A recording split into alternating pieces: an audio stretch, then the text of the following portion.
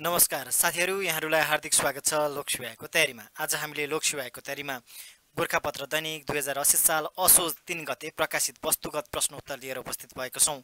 हाम्रो भिडियो कस्तो लाग्छ? हामीलाई सल्लाह सुझाव र प्रतिक्रिया दिन नभुल्नुहोला आजको पहिलो प्रश्न रहेको छ नासाका वैज्ञानिकहरूले हालै पत्ता लगाएको ग्रह कुन हो? यसको उत्तर रहेको छ के टु एटिन बी सन् दुई हजार तेइस सेप्टेम्बरमा पत्ता लगाएको। वैज्ञानिकहरूले सो ग्रहमा महासागर समेत रहेको र जीवनको सम्भावना रहेको सङ्केत गरेको। पृथ्वीबाट एक सय बिस प्रकाश वर्ष टाढा रहेको उक्त एक्जो प्लानेट अर्थात् बाह्य ग्रह पृथ्वीभन्दा आठ पोइन्ट तिन गुणा ठुलो रहेको छ। त्यस्तै गरी प्रश्न नम्बर दुईमा रहेको छ भारत सरकारद्वारा कति मेगावाट विद्युत खरिद सम्झौता स्वीकृत भएको छ? यसको उत्तर रहेको छ दस हजार मेगावाट।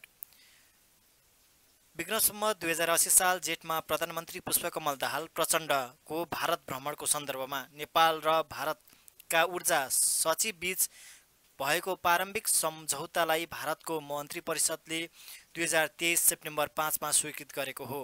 आगामी दस वर्षमा दस हजार मेगावाट विद्युत नेपालसँग खरिद गर्ने सम्बन्धी सुसम्झौता अब सचिव स्तरीय हस्ताक्षरपछि कार्यान्वयन हुने भएको छ। त्यस्तै गरी प्रश्न नम्बर तिनमा रहेको छ। मानव बेचबिखन तथा ओसार पसार विरुद्धको राष्ट्रिय दिवस कहिले मनाइन्छ? यसको उत्तर रहेको छ भदौ बिसमा। विक्रमसम्म दुई हजार अस्सी साल सत्रौँको नारा रहेको थियो सामाजिक न्याय र आर्थिक सशक्तिकरण मानव बेचबिखनको निर्मूलन। त्यस्तै गरी प्रश्न नम्बर चारमा रहेको छ मिस ग्रान्ड नेपाल दुई हजार तेइसको उपाधि कसले जित्यो? यसको उत्तर रहेको छ सलिना नेपाल। उनले मिस ग्रान्डको ताजसहित विद्युतीय स्कुटर प्राप्त गरेकी छिन्। प्रतियोगितामा प्रशंसा उप्रेतीले फेस अफ ब्युटी करुणा दाहालले मिस औरा ब्रिटिना आलेले मिस ग्रान्ड युनिभर्सल नेपाल तथा लक्ष्मी बुढा मगरले मिस ग्लोबल इन्टरनेसनलको उपाधि प्राप्त गरेका हुन्। त्यस्तै गरी प्रश्न नम्बर पाँचमा रहेको छ ग्लोबल आइएमए ब्याङ्कले क्यास तथा चेक डिपोजिटर मेसिन कहिलेदेखि सञ्चालनमा ल्याउन थालेको हो? यसको उत्तर रहेको छ विक्रमसम्म दुई हजार अस्सी साल भदौ अठार गतेबाट। त्यस्तै गरी प्रश्न नम्बर छमा रहेको छ। त्रिभुवन विश्वविद्यालय अन्तर्गत सम्पूर्ण निकाय तथा कार्यालयमा स्वचालित प्रणालीको आरम्भ कहिले गरिएको हो? यसको उत्तर रहेको छ विक्रमसम्म दुई हजार असी साल भदौ अठार गते। विद्युतीय प्रशासनलाई प्रोत्साहन गरी सेवा प्रणालीलाई छिटो छरितो र प्रभावकारी बनाउने उद्देश्यले यस प्रणालीको आरम्भ भएको हो। त्यस्तै गरी प्रश्न नम्बर सातमा रहेको छ राष्ट्रिय बाल दिवस कहिले मनाइन्छ? यसको उत्तर रहेको छ भदौ उन्तिस गते। विक्रमसम्म दुई हजार अस्सीको नारा रहेको छ। बालबालिकामा लगानी सुनिश्चित भविष्यको थालनी। नेपालको संविधानको धारा उन्चालिसमा बालबालिकाको हक सम्बन्धी व्यवस्था रहेको जसमा बालबालिकालाई राज्यबाट शिक्षा स्वास्थ्य पालन पोषण उचित स्याहार मनोरञ्जन खेलकुद तथा सर्वाङ्गीण व्यक्तित्व विकासको हकको व्यवस्था लगायतको कुनै पनि वाहनामा दुर्व्यवहार उपेक्षा शारीरिक मानसिक यौनजन्य वा कुनै पनि प्रकारको शोषण गर्न नपाइने प्रावधान रहेको छ। त्यस्तै गरी प्रश्न नम्बर आठमा रहेको छ। सन् दुई हजार तेइस सेप्टेम्बर तेइसदेखि अक्टोबर आठसम्म चिनको हाङझौमा आयोजित एसियाली खेलमा नेपालले कति खेलमा सहभागिता जनाउने भएको छ? यसको उत्तर रहेको छ उन्तिस खेलमा। नेपालका दुई सय त्रिपन्न खेलाडी सहभागी हुने भएका छन्। त्यस्तै गरी प्रश्न नम्बर नौमा रहेको छ प्रधानमन्त्री पुष्पकमल धाल प्रचण्ड संयुक्त राष्ट्रसङ्घको अठहत्तरौँ महासभामा सहभागी हुने सन्दर्भमा कहिले न्युयोर्क प्रस्थान गर्नुभएको हो? यसको उत्तर रहेको छ। विक्रमसम्म दुई हजार अस्सी साल भदौ तिस गते। महासभाको अठहत्तरौँ सत्रमा सहभागिताका लागि लागि नेपाली प्रतिनिधि मण्डलको नेतृत्व गर्दै प्रधानमन्त्री प्रचण्ड न्युयोर्क प्रस्थान गर्नुभएको हो। त्यस्तै गरी प्रश्न नम्बर दसमा रहेको छ। अठारौँ एसिया कप फुटबल प्रतियोगिता सन् दुई हजार तेइसमा कुन देशमा आयोजना हुने भएको छ? यसको उत्तर रहेको छ कतारमा। एसिया कप सन् दुई हजार चौबिस जनवरी बाह्रदेखि फेब्रुअरी दससम्म सञ्चालन हुने भएको छ। पुरुष एसियन कप फुटबलमा पहिलो पटक महिला रेफ्रीले खेलाउने भएका छन्। त्यस्तै गरी प्रश्न नम्बर एघारमा रहेको छ राजस्व विभागको स्थापना कहिले भएको हो? यसको उत्तर रहेको छ विक्रमसम्म दुई हजार पचास सालमा। विभागको स्थापना हुनुपर्व राजस्व चुवावट नियन्त्रण गर्ने उद्देश्यले विक्रमसम्म दुई हजार चौतिस सालमा अर्थ मन्त्रालयमा राजस्व अनुसन्धान महाशाखाको स्थापना भएको थियो।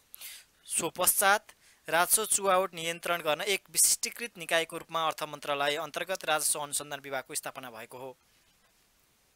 त्यस्तै गरी प्रश्न नम्बर बाह्रमा रहेको छ सङ्गीत क्षेत्रको प्रतिष्ठित award MTV music video award दुई हजार तेइसमा सर्वाधिक अवार्ड जित्न सफल गायिका को हुन्? यसको उत्तर रहेको छ टेलर स्विफ्ट। स्विफ्टले प्रमुख विधाको सर्वाधिक नौ अवार्ड हात पारेकी हुन्। गीत एन्टी हिरोबाट वर्ष गीत वर्ष कलाकार भिडियो उत्कृष्ट पप निर्देशन visual effect show of the summer छायाङ्कन विधाको अवार्ड चुमेकी उनले मिडनाइटबाट एल्बम अफ द इयर गरी कुल नौवटा अवार्ड पोल्टामा पारेकी छिन्। त्यस्तै गरी प्रश्न नम्बर बाह्रमा रहेको छ उत्कृष्ट शिक्षक सेवा पुरस्कार दुई हजार असी कस कसलाई प्रदान गरियो? यसको उत्तर रहेको छ कोशी प्रदेशमा सोमप्रसाद गौतम फिक्कल मावि त्यस्तै गरी बागमती प्रदेशमा कमला राई जनकल्याण मावि बौद्ध त्यस्तै गरी गण्डकी प्रदेशमा टुकादेवी आचार्य पञ्चमुनिदेव मावि त्यस्तै गरी लुम्बिनी प्रदेशमा गोपाल प्रसाद बस्याल मोहन कन्या मावि तानसेन त्यस्तै गरी कर्णाली प्रदेशमा जयबहादुर बस्नेत त्रिपुरा मावि जगदुल्ला डोल्पाबाट त्यस्तै गरी सुदूरपश्चिममा हुनुहुन्छ जितबहादुर चौधरी श्री सर्वोदय मावि धनगढीबाट।